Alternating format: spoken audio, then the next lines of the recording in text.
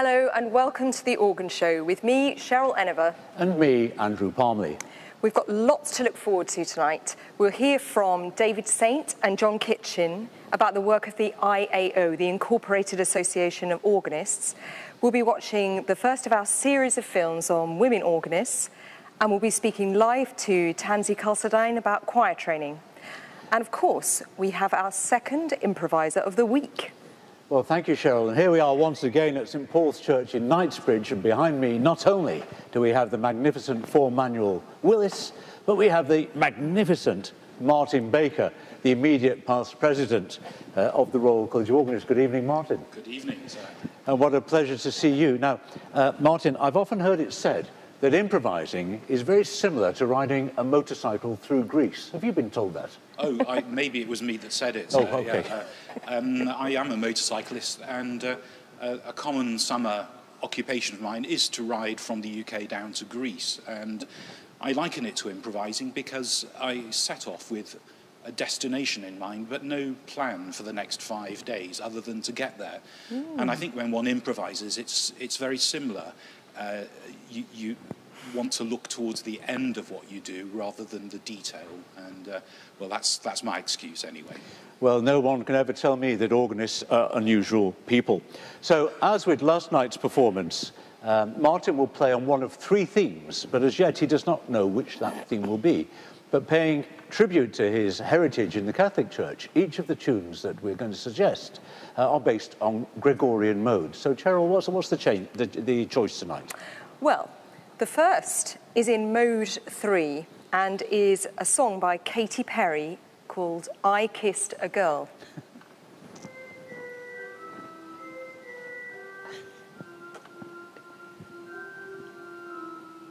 Thank you, Martin. In Gregorian mode seven, we have a song by Coldplay, Clocks.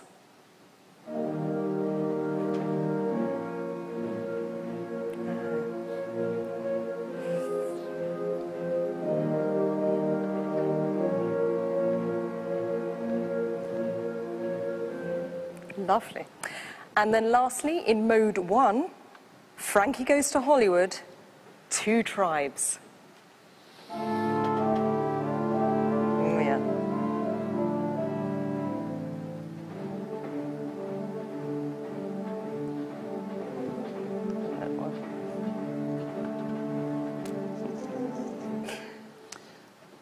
Thank you very much, Martin, and I can't wait to find out which of those three delights we're going to be treated to in a moment or two.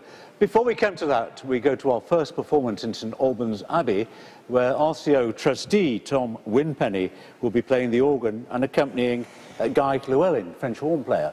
Many people think that organists only ever play on their own, but there is a significant repertoire for organ plus one or more instruments. So tonight we hear the Andante for horn and organ by Camille 上锁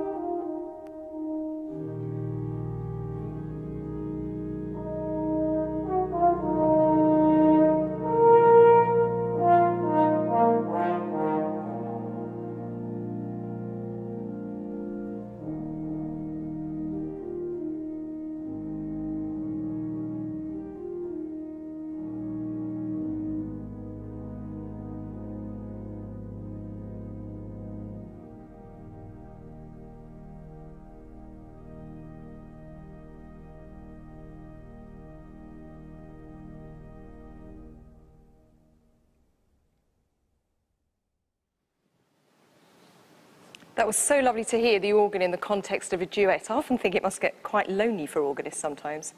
Still, I won't be lonely tonight because I am now joined by Lord Glenarthur, who's going to help me uh, pick the theme for Martin's improvisation. So if you perhaps, if you perhaps show me the three envelopes and then I will choose. Ooh, which do you think? Perhaps this one. Very tense, but oh, good. Right. It's Frankie Goes to Hollywood, Two Tribes, which is in mode one, don't forget. So, Martin Baker, motorcyclist extraordinaire, you're about to improvise on Frankie Goes to Hollywood. You have four minutes, starting now.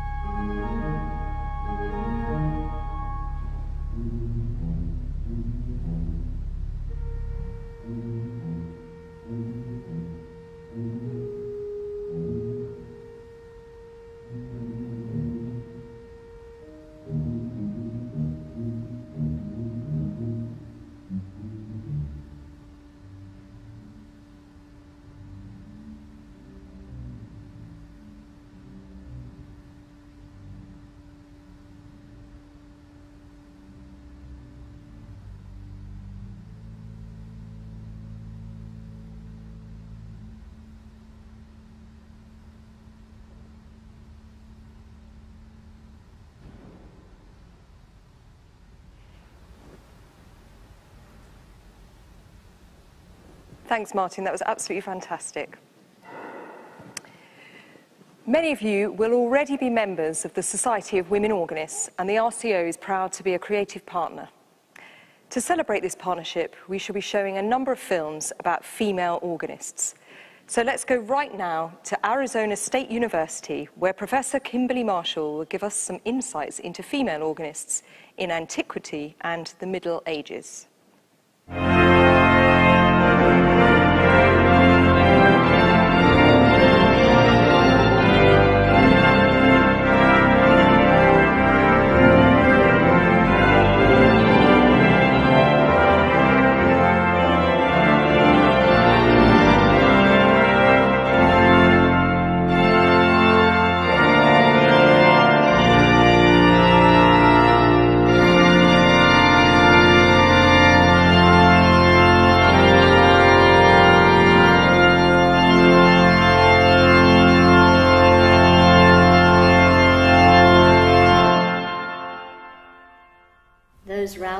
Strains end Fanny Mendelssohn's Prelude, composed for her own wedding in 1829.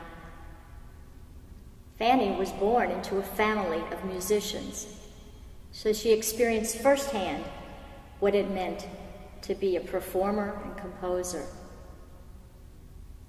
Many female organists throughout history have come from musical families.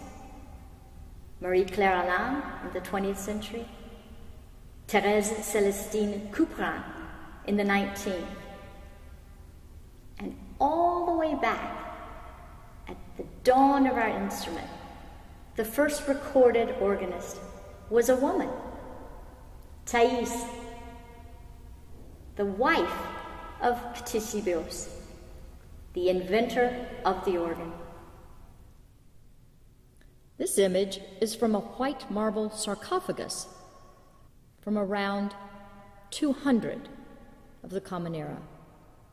It was made for Julia Tirania, who died aged 28. It's presumed that Julia was herself an organist, immortalized by the image of the instrument she played. Allegorical figures show women playing the organ, as in this illumination from a 13th century manuscript in the Bibliothèque Nationale. Notice the letters indicating the notes played by the keys, a realistic detail that was included on late medieval organs.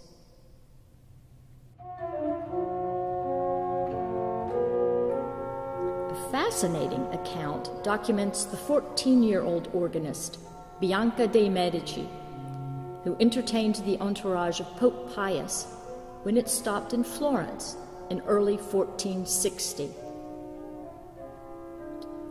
After tuning the organ, Bianca played arrangements of two popular chansons, Fortuna and Angoisseux.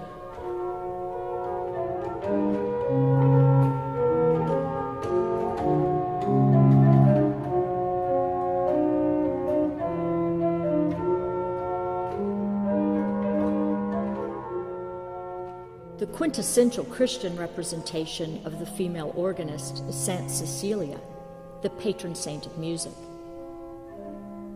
In this famous painting by Raphael, made around 1516 17, Cecilia is shown in rapt attention to the sounds of an angelic choir above her. She has forgotten the earthly music of the organ, which she holds inverted, so that the pipes are about to fall to the ground with other musical instruments.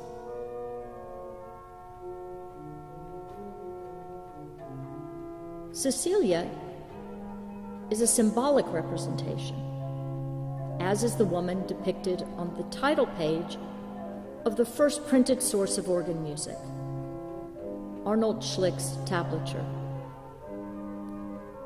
This seems to be an image depicting the muse, Uther, who is always shown playing the flute, in this case, a recorder. She is usually surrounded by instruments in the same way that we saw instruments beneath St. Cecilia in the Raphael painting. The two depictions were probably made within about five years of each other, using Greek and Christian models of women musicians.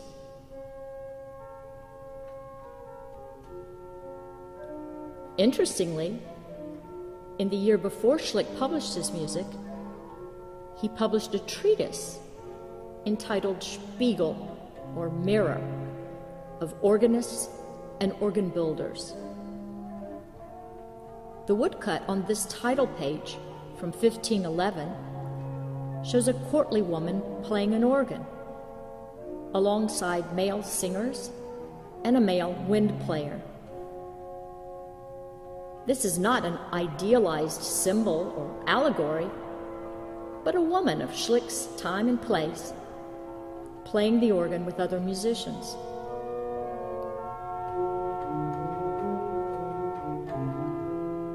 We've come a long way from the female hydraulis players of Roman times. And yet, in both of these, we see women playing the organ along with male musicians playing wind instruments. Different functions, but a long and rich history of women playing the organ.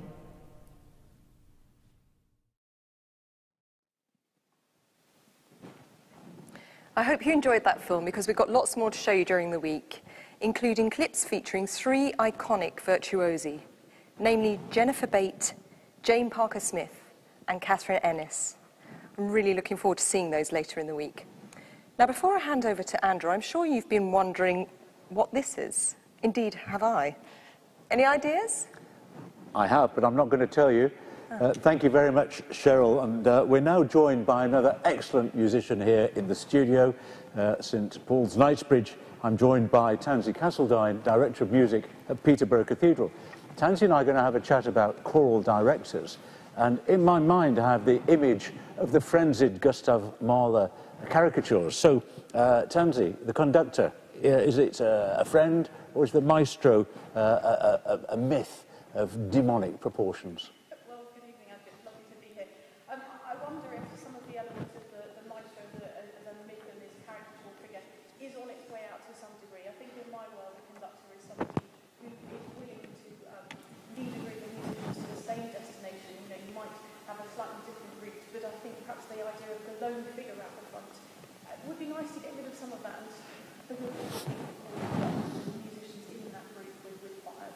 So, so tell me, why do we need conductors? Well, sometimes you don't. Um, it depends what they're doing, doesn't it? Um, if, they're really helpful, then you definitely need them. So, as I was saying, you've got this musical vision, musical journey in, your mind and you're trying to get this group all sorts of disparate backgrounds, um, and all different ages, all different abilities, and you're trying to get them all the same place, a really fulfilling musical performance that, that engages congregations and audiences, and uh, be able to bring all those people together actually is, is quite a skill and it's not just about the actual physical movements of conducting, it's about the, the gesture of the, the, whole body, the eye contact, uh, the words that you're using. Um, and so I think you probably do need uh, choral conductors um, for most ensembles. Um, That's very interesting. Very interesting. I mean, a, a lot of uh, our viewers tonight are organists uh, who had a, had a desire to learn to play the instrument and by misfortune or happen chance found that they were taken out of the organ loft and put in front of a choir. So have you got any advice for the, what you might call the, the reluctant or the unexpected choir trainer?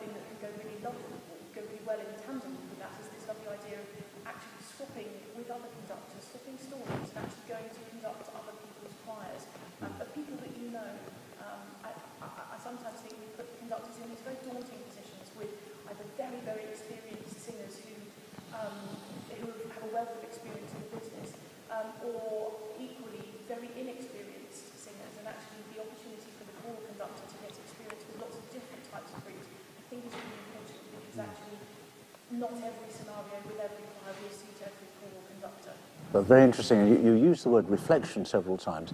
Uh, is it possible to learn to be a choir uh, uh, conductor uh, in front of a mirror, or do you actually need a group of singers in front of you?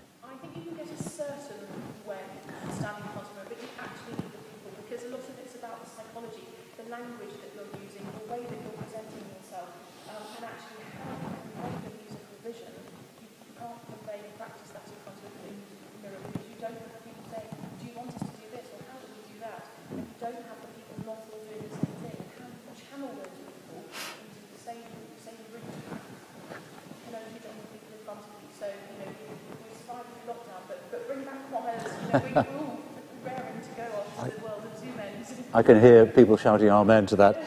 Uh, uh, many, many choirs, though, and this is a real problem, many choirs only manage to, to rehearse once a week. You know, life is pressurised these days. So what's your advice to choir directors about getting the most out of that one rehearsal in the week?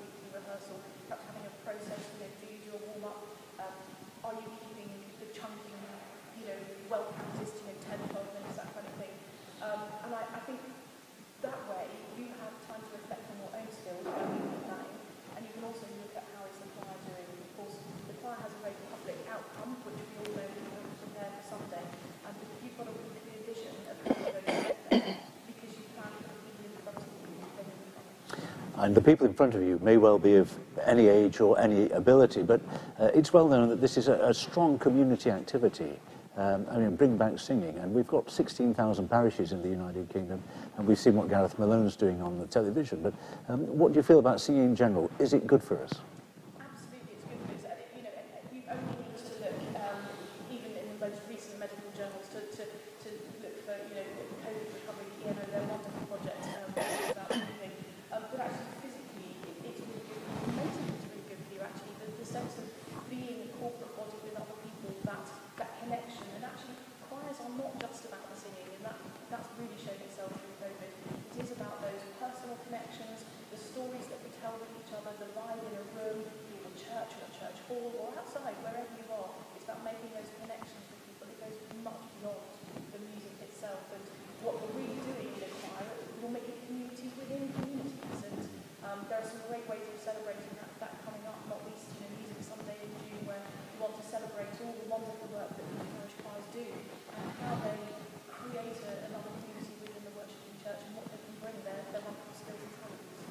Well, thank you very much, Tansy. I love the way that you end your remarks by talking about celebration, because, of course, uh, singing is all about celebration. Tansy Castledine from Peterborough Cathedral, thank you so much. Tonight, we're also looking at the musical life of parishes. First, we visit St John Devizes Church in Wiltshire, where we'll meet Chris Totney, the Director of Music. The clip starts, however, with their talented young organ scholar, Anna Hallett.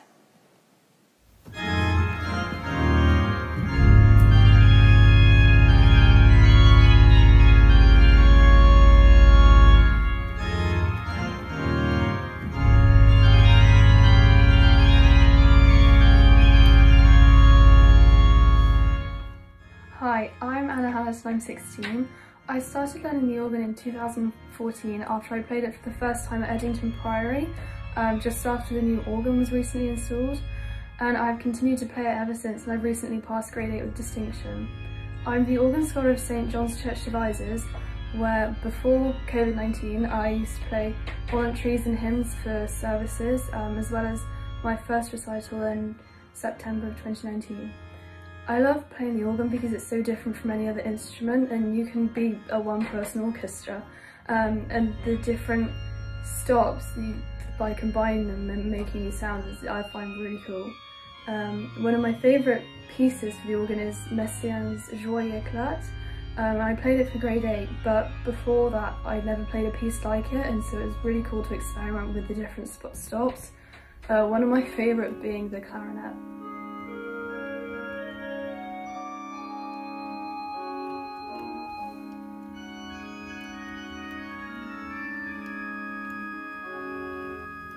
My name's Chris Totney and I've been associated with church music making ever since the age of nine. It all started when I became a chorister in my hometown parish church of St Thomas's Stourbridge with Andrew Fletcher.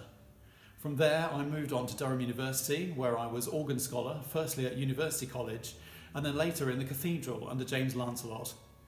I moved to Wiltshire in 2006 where I taught firstly at Dauntsey School and latterly at St Mary's School in Calne and since 2011, I've been able to combine these teaching posts with the organist and choirmaster role here at St John's Devizes.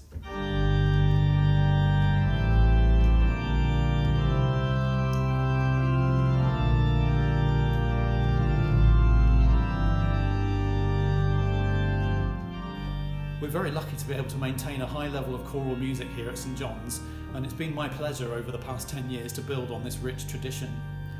We currently have around 20 children drawn from schools all over the region and 15 adults on the alto, tenor and bass parts. Without a shadow of a doubt, the greatest highlights of recent times have been our 2018 tour of Latvia, where we have a diocesan link, and then the following year when we gave a live broadcast of Sunday worship on BBC Radio 4 to mark the end of the Creation Tide season. Our other great success story has been the rise of our young organ scholar Anna Hallett, who's rocketed from grade 2 to grade 8 in just five years, thanks to the support of the Diocese of Salisbury's Pipe Up scheme for young organists, and more latterly, a pipeline scholarship from the RSCM. What she's done has been incredible, really. She's shown herself to be a most creative and industrious ambassador of the instrument for the next generation on a truly global scale. If there's one piece that strikes a particular chord with me, I would say it has to be Master Tallis's Testament by Herbert Howells, for a number of reasons actually. Andrew Fletcher instilled a love of Howells in me from a very early age, and I first heard the piece played at a recital he gave at Waltham Abbey, where Tallis is buried. At the time, it, it, opened a door to me in terms of how much inspiration our beloved 20th century English composers drew from their Renaissance counterparts.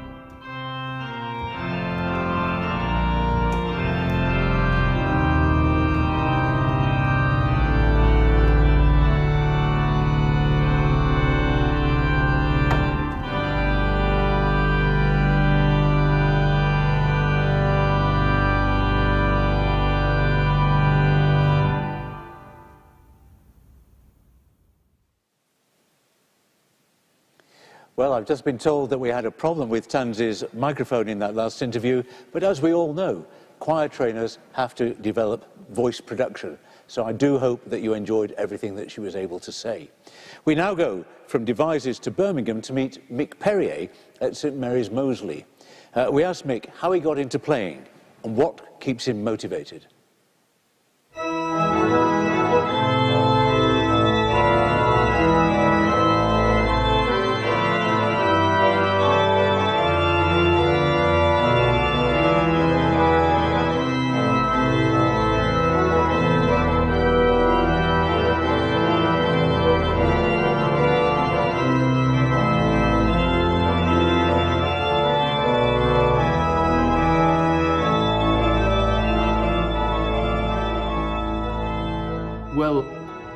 First piano lessons were when I was about five. My parents gave me, uh, sent me for piano lessons, and my teacher uh, carried on teaching me piano till uh, I was about uh, 10 or 11, and then she gave up. I think it was uh, maybe a response to my playing.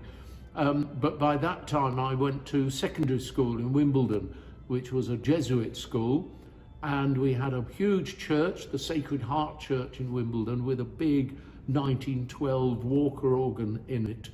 And um, we had a very inspiring music teacher by the name of Ferdinand Laloux, who was a Belgian emigre, came over in the First World War. And uh, he had been taught by a pupil of Ravel, and he improvised beautifully during services in the church, which we schoolboys attended and sang for. And I was captivated at that time. So really it was Ferdinand Laloux and the organ at St. Sacred Heart in Wimbledon that got me started. Uh, and I started then playing uh, the harmonium for hymns in the school chapel and uh, then had organ lessons and um, uh, graduated uh, from London and came up to do a postgrad in Birmingham and, uh, and I've stayed here ever since. What keeps me going as an organist after all this time and in one place as well? Haven't I got any ambition? Well, my ambition is to be a liturgical organist and I find that here in St Mary's um, I have a chance to do that uh, really, um, really fully and to improvise in services uh, and to deal with the choir who've become firm friends and um, the music uh, team here are a really good bunch of people and they motivate me and encourage me to motivate them and that's what's kept me going uh, all this time. Moseley's a diverse area, and a lot of the CBSO uh, players used to live in Moseley. Um, and uh, so we had them playing here and providing instrumental music as well, which was, uh, which was really good. Um, the sense of community uh, has encouraged me also, and I've, I've been for 20 years now, I think, diocesan music advisor uh, for Birmingham. And that also means that I'm uh, I'm really motivated to help other churches uh, to look at their music and how music can be used efficiently and effectively in services. So that's what keeps me going and hopefully I'll be here at Moseley with our Henry Jones organ which we're looking forward to rebuilding again.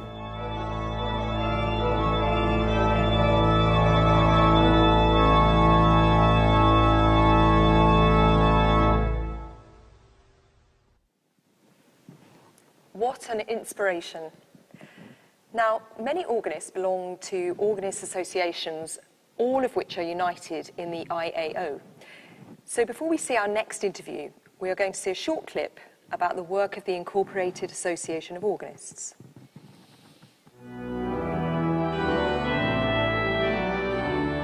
After a process of evolution in the early decades of the last century, the Incorporated Association of Organists was founded to provide information, support, education and training for organists, choir trainers and organ enthusiasts. Today the IAO speaks with a united voice on behalf of the nearly 80 affiliated local associations and their more than 4,500 members throughout the country supporting them with their program of activities, as well as organising its own national events.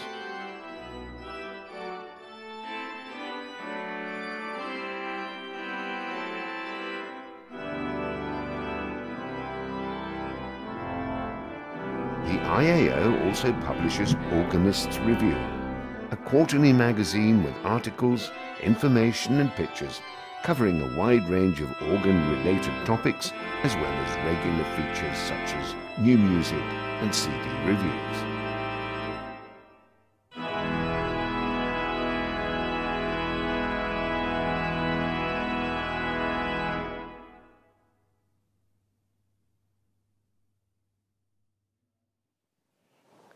To find out more about what the IAO do, um, I spoke to David Saint, the chair, and John Kitchen, who's the president, just before we came on air.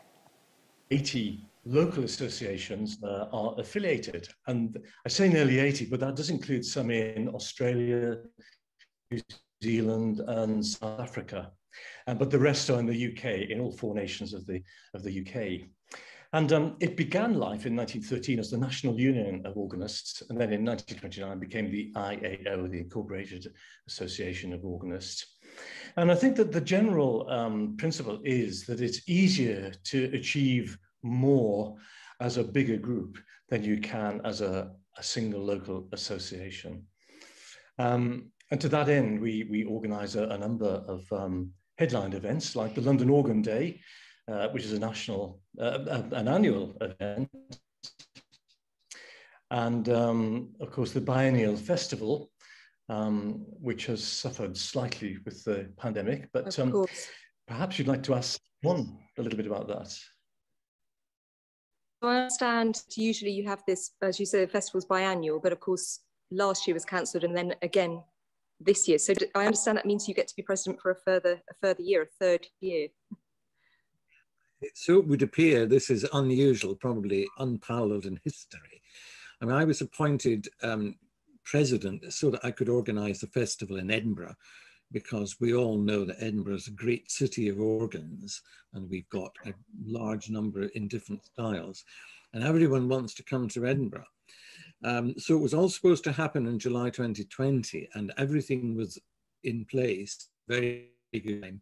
But of course, that was all postponed. I always say postponed rather than far more we positive all, that.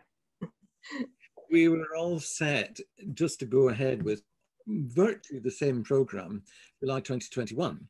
Um, but it's just so uncertain. And what we found, we, we didn't make this decision until just a few weeks ago, but some of the main venues that I wanted to use, uh, because they've got the best organs in the area, um, were just unavailable. They just said, sorry, July 2021 is too early.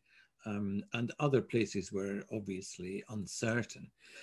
So we really could not avoid making the decision to uh, postpone yet no, again. No. I'm still hoping that it'll happen more or less in exactly the way we worked out in July 2022. And, and that will hopefully be a lovely thing for everybody to look forward to rather than, you know, once we're sort of past the worst of this. Yeah. Yes, absolutely. So, so you mentioned all the local associations. Sorry, sorry, John, the delay. um, you mentioned the local associations. So we we requested some films from a number of the uh, local associations, and we've had some. We've had, well, as you know, an overwhelming response to that, and we've been sent. I mean, 10, 12 more. Um, really wonderful films from all over the country. There was North Northampton, where they built the digital organ to take into schools um, Nottingham, Glasgow, Brighton, Essex, Derby, Bolton, Somerset, Manchester, everyone. So we've we've got them all on the RCO website, which look absolutely fantastic. So if people go to the YouTube page of the RCO website and scroll down, they'll see them all there, and they look really, really lovely. So hopefully people will sort of watch as many of those as they can. But what, how do you support the local associations? How do they fit in with you? Well, I should say, by the way, the, the organ, not in Northampton. oh, sorry, um, sorry. um, well, I think uh, there are a number of things. Some of them are a bit mundane but essential. For instance, we provide public liability insurance for all associations that are affiliated, affiliated to us. Not especially interesting, but you know, you've really got to have it. Um, we have a grants and guarantees scheme, which enables associations to put, um, to put on bigger events, um, either with a grant or at least with a guarantee against loss. And um, that's, I think that's been quite a big help. It, uh, it certainly helps uh, pay for classes with and, um, oh, you know, recitals perhaps and, and education projects, which uh, we're particularly keen on. Um, so, so you support young young organists coming through as well? Well, lots of associations do. There are there are various schemes which um, which are uh, mentioned in the videos. Um, there are bursary schemes, there are competitions, there are um, organ scholarship schemes whereby you know, a younger organist might be attached to a parish church, perhaps. Um, so we're particularly keen to do that. But also trial organ lesson schemes, you know, eh, eh, where we can, well, we, our local associations can offer organ lessons for those who are interested but haven't had any so far. So we're very, very keen to promote the instrument. Fantastic. And I understand you run a competition as well. Is that right, John? Yes, the competition um, is generally part of the festival. And it, again, that's given us a bit of a headache this time because, of course, we had six shortlisted candidates um, who were ready to, uh, to compete in 2020. And they had in advance from, from recordings. But of course, that was all postponed. Um, however, we don't feel that we can wait, keep them waiting all the time till 2022. So moment, we're working out uh, exactly how to um, run this competition online. It's very likely going to have to be in some sort of online version in the course of 2021. Um, and then we presume that we will be organizing a, a, different competition with different competitors in 2022. I hope I've got all these years right. You know, you right these days. But anyway, so it, that's the situation with the competition. It's always been a, a, very important part of of the festival, and and you know it's it's something that delegates to the festival really enjoy. Uh, hearing different young players you know, playing in their different styles. So um, I say we're not exactly sure what's going to happen with the 2021, but it, it will happen. So that's where we are there. And do you know if young organists, do you know of young organists that have struggled to find places to practice during the last year? Because certainly at the beginning, lots of churches weren't allowing it. That must have been an issue for a lot of organists. Certainly was. Um, yes, indeed, absolutely. Um, I mean, it's been very difficult for many young organists, um, well, for many organists generally. Mm. One of my organ pupils has a two manual electronic in his bedroom, so it's all right for him. Yeah. But that's very unusual. Mm. I think yeah. things are a bit better. It's been it's been difficult, and churches, I may say, in many cases, have been far too strict about these things. Um,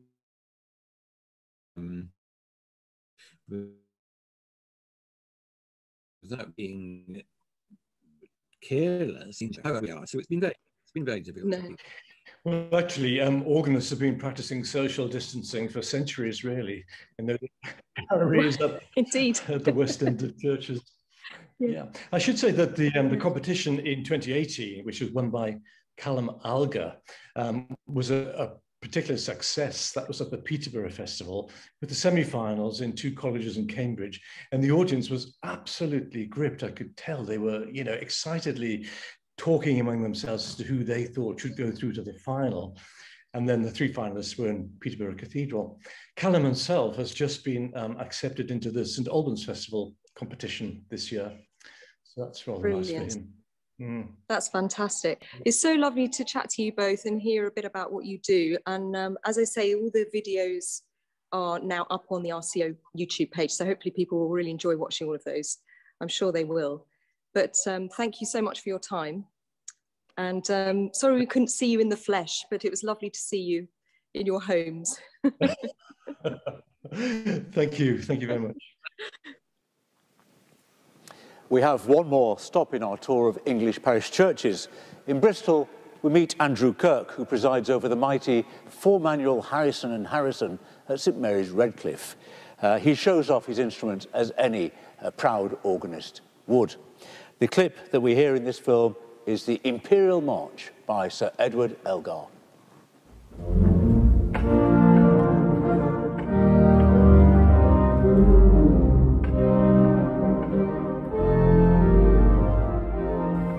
Hello, and a very warm welcome to St Mary Redcliffe Church here in Bristol. My name is Andrew Kirk, and I am the Director of Music and organist here.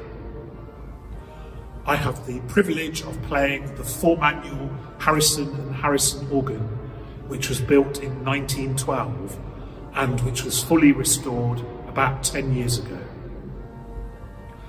There are just over 4,300 pipes in the instrument with 71 speaking stops. On my left, over here at first floor level, are the pipes of the great organ, and behind that are some of the pedal pipes. On my right, at first floor level, are the pipes of the echo and solo organ, which are enclosed in an expression box. And below that, behind the choir stalls, is the choir organ, which is unenclosed. The swell organ is in a separate chamber off the north choir aisle. And this was built in 1910 as an extension above the vicar's vestry. It's a stone chamber and contains over a thousand pipes, including a full length 32 foot reed and its partner 16 foot reed, which are enclosed in the box. On the right hand side here, we have the battery of high powered reeds with a 32 foot 16 and 8 Ophicleide. And the tuba sits behind the facade pipes in front of the echo and solo box. The organ is normally used for weekly recitals, and we have recitalists coming from all over the world to play this magnificent instrument.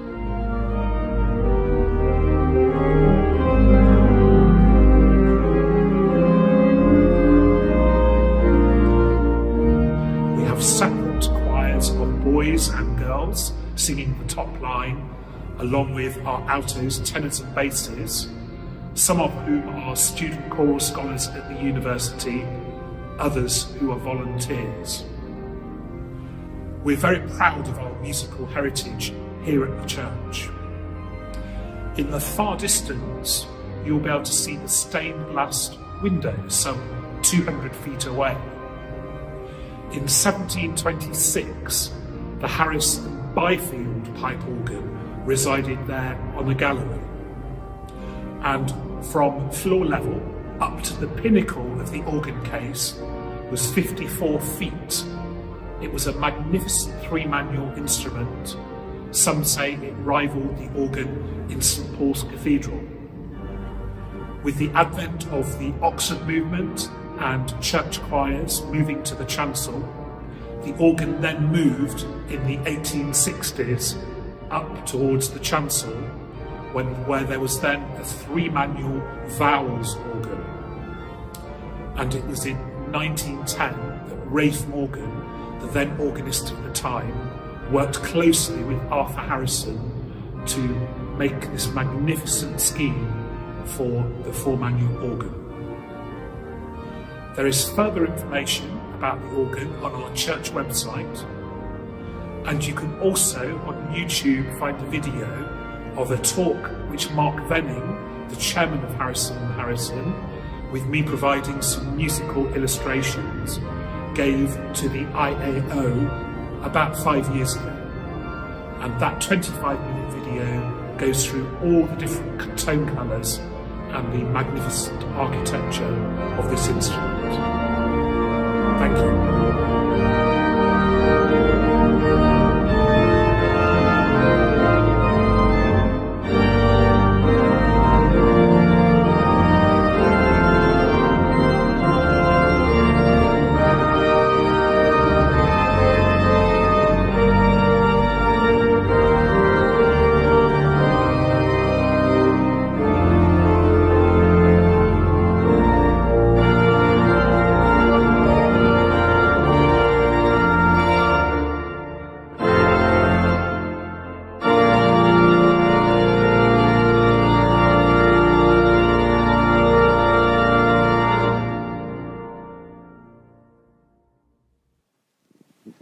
It's now my great pleasure to introduce the chairman of the Royal College of Organists, Lord Glenarthur. Welcome, Lord Glenarthur.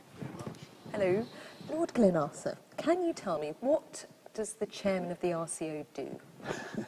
well, primarily, uh, the responsibility of the chairman is to ensure that the charity, in every respect, adheres to the, its objects, because it comes under the ultimate control of the Charity Commission. So that is the first thing. Second thing is to ensure that uh, I work extremely closely with the director, uh, almost day to day, not quite day to day, but as regularly as possible.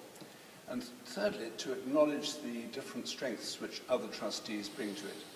Uh, although we're all enthusiasts about the organ, uh, people bring other skills, whether it be finance, legal, generalist, producers of all sorts of things, and make sure that they bring all that they can to the Mm. party. Well, Lord Glenarthur, uh, it's no secret that you are a fine organist yourself. And so uh, I wonder if you could tell us something a little bit about your experiences in parish life in Banchory in Scotland. I think fine's rather an exaggeration, but uh, I do play the organ and have done uh, for the last 20 years or so, and learnt as a boy. Um, in the parish, uh, and I'm a member of the Scottish Episcopal Church, uh, both playing and indeed singing has been very much part of my life for as long as I can remember. One of the difficulties we face is getting younger people to come in and play their part, first of all in choirs, and certainly, uh, ideally, to get younger people enthused so that they will come and learn to play the organ. As I look ahead, I don't quite see who's going to take over from me in years to come. It's one of the snags. That's one of the purposes of the Royal College, and indeed this whole week, I hope, will enthuse younger people, if they're available, to come and take it up. If they're learning the piano, you can go on and learn the organ. Yeah. Indeed, and you're also heavily involved in the Cathedral Music Trust, I believe. I have been a diocesan representative of the Friends of Cathedral Music, which is now merged into the uh, Cathedral Music Trust, where, uh, as a membership body, it does what it can to raise money to keep alive that wonderful tradition which Britain uh, leads the world in, in cathedral music, choral music of the very finest kind. And uh, we hope that uh, under the new arrangements, it'll develop even more. Peter Allwood, as the Yeah. chairman, has started a slightly different regime, which I hope will bring even more enthusiasm to that particular field. Well, thank you. We, we know that the, uh, the House of Commons and the House of Lords are not really known uh, for music, but appa- apparently there's all sorts going in there, unbeknown to th- those of us who have not been elected. Well, there's the Parliament Choir, apart from anything Do, else. do tell us. uh, which uh, I certainly sang in for, uh, on a number of occasions over the years. Uh, it encompasses both Houses of Parliament and indeed all of Whitehall. And uh, they produce some marvellous music. Um, I think I sang in a choir of 200 or so for Verdi's Requiem in Westminster Cathedral a few years ago. And we've, uh, we, we, we hope to do uh, the uh, B minor Mass in the next year or so. It's all been put out of Fantastic, kilter a bit yeah. because of, because of uh, COVID. But yes, and of course, as you showed last night, there's that lovely organ in St Mary Undercroft, which um, I, I've been lucky enough to play a couple of times. Well, splendid. Well, uh, Lord Glenarthur, thank you very much for joining us. Lord Glenarthur, there, ladies and gentlemen, my boss. Now, yesterday I promised you a little trip to France. So we're off there now, where our correspondent Angeline Wallace will be talking to Jonathan Matisse, who is a barrel organ virtuoso. And he'll be starting off with some Miles Davis, of all things.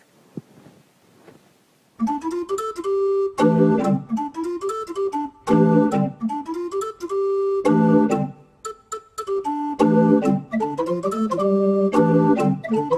you.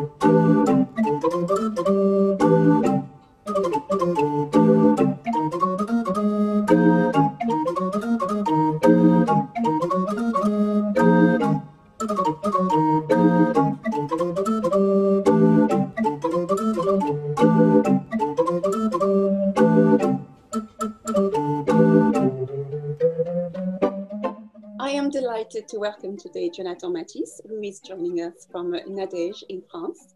And Jonathan Matisse is going to talk to us today about the, um, the barrel organ.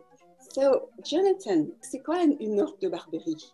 un orgue de barbarie, et ben c'est cet instrument qui se compose comme un orgue d'église, parce qu'on voit très bien des flûtes, le son sort des flûtes, mais à la place d'avoir un clavier euh, pour jouer de cet instrument, comme sur un orgue d'église ou un orgue électronique, eh bien la musique est inscrite dans des cartons perforés qui sont composés de cartons et de trous.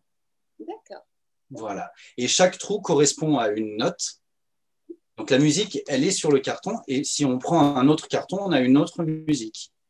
Et, euh, et comment t'es venue l'idée euh, de jouer euh, de la musique qui n'est généralement pas peut-être associée à l'orgue de Barberie comme, du Miles Davis, par exemple Moi, j'ai une démarche de musicien. Donc mon intérêt, c'est de faire de la musique avec et, euh, et de sortir de ce qui existe déjà pour faire grandir l'instrument.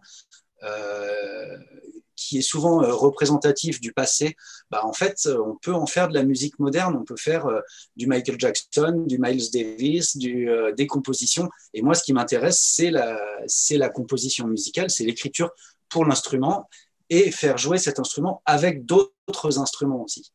Et c'est vrai que moi, cet instrument, j'essaie de l'emmener euh, sur des scènes de musique actuelle, sur des scènes de scènes conventionnées, des théâtres, des compagnies de danse ou des scènes de jazz et de faire euh, des choses plus surprenantes en fait. Quand on voit cet instrument, on n'imagine pas qu'il puisse swinger. Ben, le, le, le, duo que j'ai avec mon papa, parce qu'on a décidé de monter un, un duo euh, l'année dernière, qui s'appelle le duo Matisse, en fait, il y a, y a une double, un double challenge. Le premier, c'est d'arriver à faire une musique qui, qui swing et qui soit euh, pleine. Et l'autre euh, l'autre challenge, c'est d'avoir deux instruments comme celui-ci qui jouent en même temps mais qui ne jouent pas le même carton. Tu peux nous en dire un peu plus? Comment, comment, comment ça marche? En fait, c'est très simple et en même temps, c'est très compliqué. En fait, euh, l'orgue de barbarie, quand on joue de l'orgue, on n'a pas le ressenti de la vibration comme quand on joue de l'accordéon ou de la guitare. On n'a pas un accès direct à, aux impulsions des notes. En fait, tout est dans la manivelle. Et donc, en fait, c'est notre dernier lien avec la musique et euh, on doit connaître son carton par cœur au dixième de millimètre près et connaître celui de l'autre pour savoir qui joue quoi quand et en fait se servir de ses oreilles pour être synchronisé. La synchronisation des deux instruments, elle se fait uniquement avec nos oreilles. Dites-nous un peu plus le processus en fait de l'écrier. C'est fait sur un ordinateur Est-ce que c'est un logiciel particulier que tu utilises? On commence par faire de la musique. Euh, c'est-à-dire qu'on travaille maintenant en 2021 avec euh, des ordinateurs. Euh, en fait, le carton perforé, c'est l'ancêtre du fichier MIDI. Le fichier MIDI, c'est ce qui permet de piloter les synthétiseurs, les boîtes à rythme. C'est un, format qui a été inventé, je crois, à la fin des, dans les années 70 et qui permet de faire communiquer des, des machines entre elles. C'est un format numérique. Mais l'orgue est est complètement l'ancêtre de l'ordinateur parce que c'est le langage binaire. La note joue ou ne joue pas. Donc je fais mon arrangement sur un éditeur musical. Et ensuite, il faut que j'ai une lecture de ce fichier de manière à ce que euh, mes perforations et mes notes soient mécaniques. Après, pour la partie perforation, maintenant, on a des machines euh, à commande numérique euh, qui, en gros, transforment un fichier informatique en carton perforé, on met du carton vierge sans trou et euh, la machine, elle sait exactement là où elle doit percer. Et, euh, ça prend combien de temps euh, du, moment où vous commencez le processus sur, sur, ordinateur et, quand les cartes sont, prêtes à être jouées? Alors la perforation, elle va très vite maintenant parce qu'elle est assistée par une machine. Euh, avant, cette machine, il nous fallait à peu près une heure et demie de perforation pour faire une minute de musique.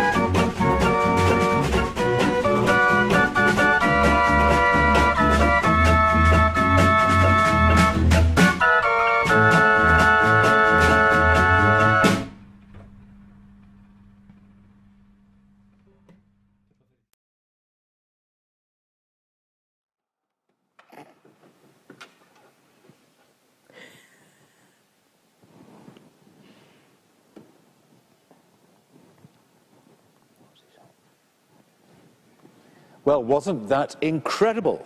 Yes, and I'm pleased to say that Jonathan and Angeline will be back later in the week.